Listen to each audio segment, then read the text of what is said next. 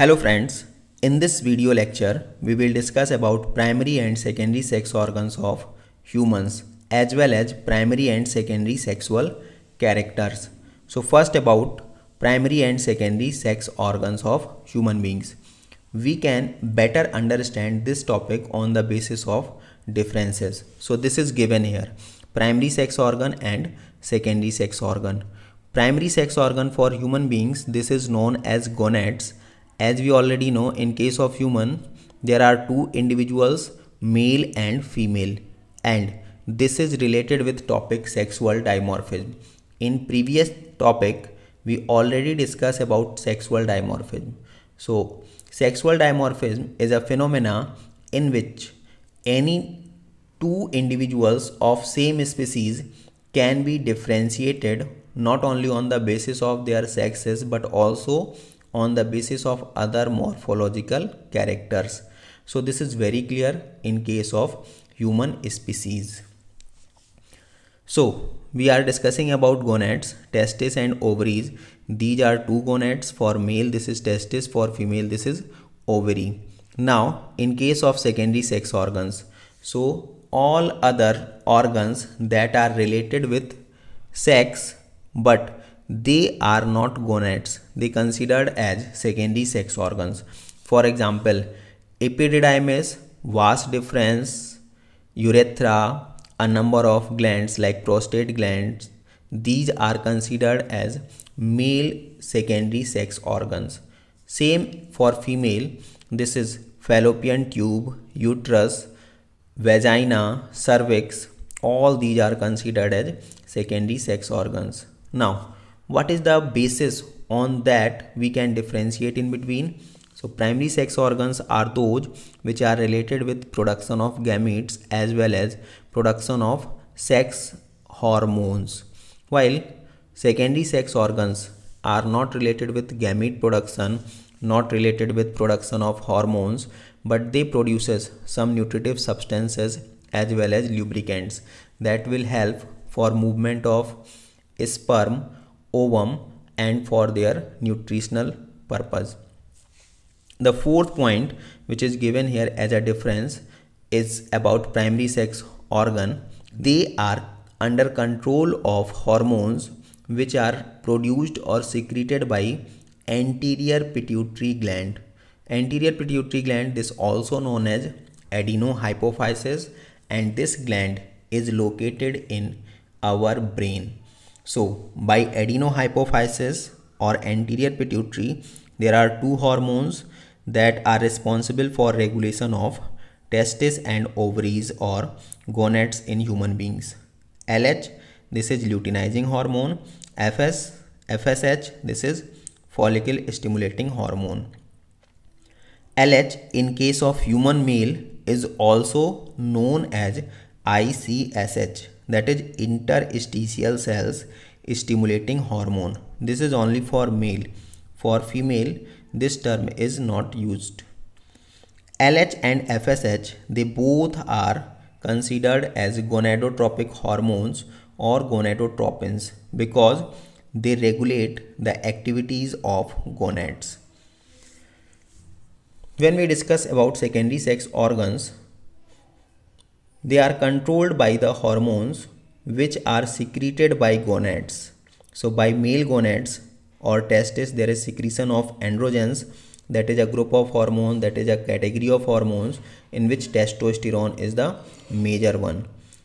For females or female gonads that is ovary there is secretion of estrogen and progesterone. Here testosterone is related with secondary sexual characters of male while estrogen is related with secondary sexual characteristics of female. Progesterone is known as pregnancy hormone. Now, primary and secondary sexual characteristics of male and female of human beings. So simply, what are primary sexual characteristics? This is related with sex organs. Any change in these sex organs that we discuss as primary sex organs, ovary, testis, secondary sex organs like fallopian tube, uterus for female and in case of male this is vas deferens epididymis. If there is any change occurs in these both primary as well as secondary sex organs that is known as primary sex characteristics. Now, secondary sexual characteristics of male and female. So again this is given here on the basis of differences. First, for secondary sexual characteristics of male, presence of facial hair, beard and mustaches. This presence is mainly because of male sex hormone that is testosterone hormone that is related with the group which is known as androgens. So this is mainly present in human beings, male. In some rare cases, this may also be present in female. Usually this is absent in female, but sometimes this may be present. That is because of hormonal imbalance. Next, secondary sexual character of male. So they have undeveloped breast.